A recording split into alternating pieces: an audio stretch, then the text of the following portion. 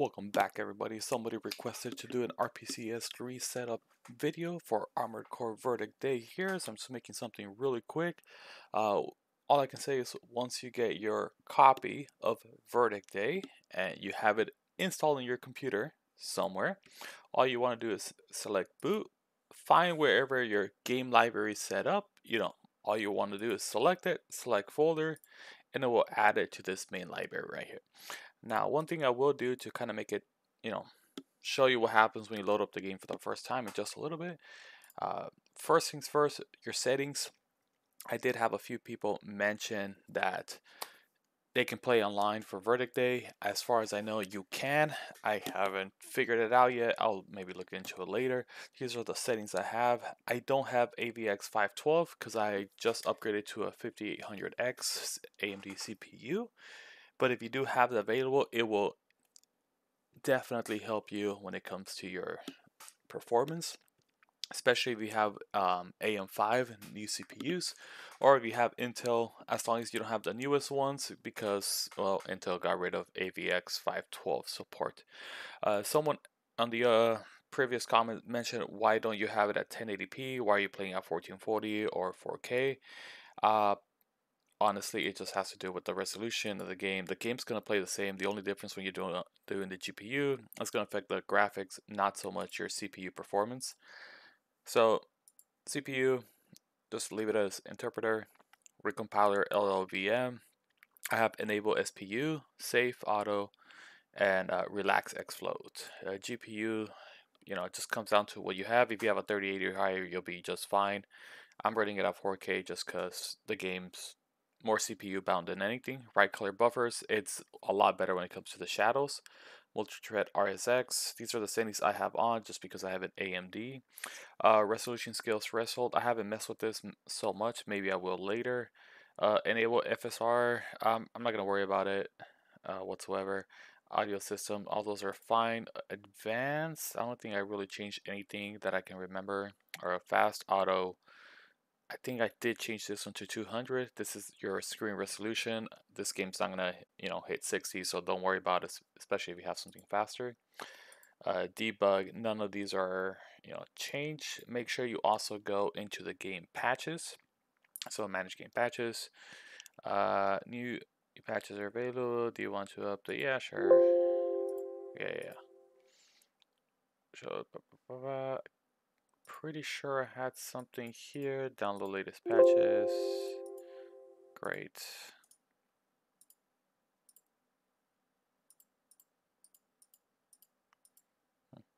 All I don't know what's going on. It was showing up before, so I am not. There we go. So just delete the very top. Uh, let's see where we can find it.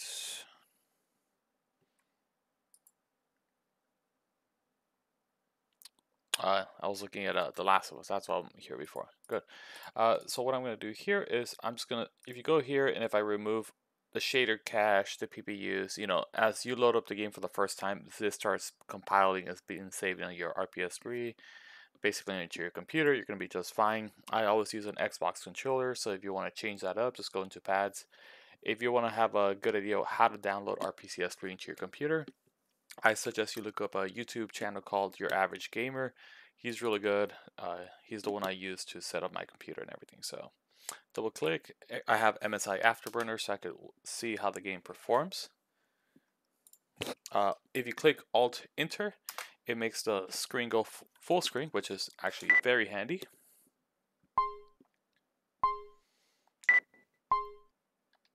I'm just going to continue based off my save data that I have.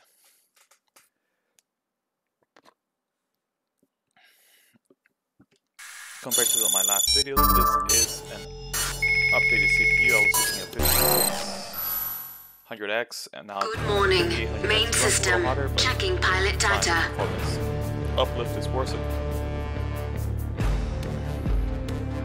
Main like system normal mode activated. Now resuming mission operations. Welcome back.